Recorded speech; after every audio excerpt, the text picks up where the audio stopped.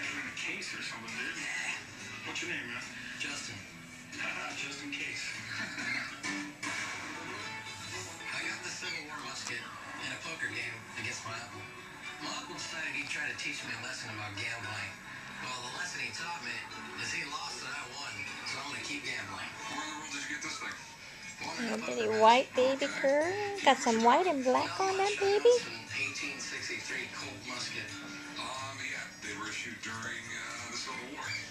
No name has contributed more to American firearms than Hello, Samuel kitty. It's one of the most collected Hello, kitty girl. out there. On top of that, it's from the Civil War, and that can make the value Just go through the roof. Say hello. This is the weird thing about it. Hi, Mama. 1863 gun that was issued during the Civil War was a used gun. Guys